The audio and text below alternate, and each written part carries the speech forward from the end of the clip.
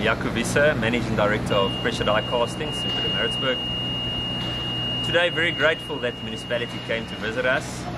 A few months ago, or a year ago, we were very concerned about our most important supplier, the municipality, because we are dependent on electricity and supply from them. But we can see the progress being made, and today, them visiting us really is a step in the direction showing us that um, they really intend to improve and we can already see that improvement coming through.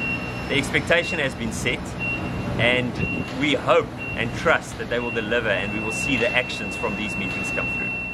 Uh, we are very excited today. We visited PDC. They are manufacturers of steel, of course, many product, products that are being manufactured here, some for export, some for South African market. But our intention is to make sure we keep business in the city. Those who want to invest, we make sure that they come and invest in our city. There is few challenges, challenges which I believe currently as a municipality we are equal to.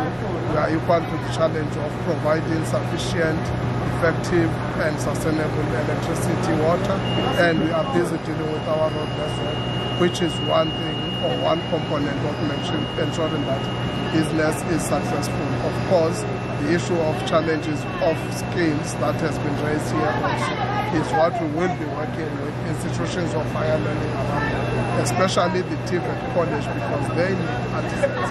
We are glad they have employed more than 200 people from the city and across, of course, the province, but we are very happy. Uh, Maritzburg now is where all roads lead to.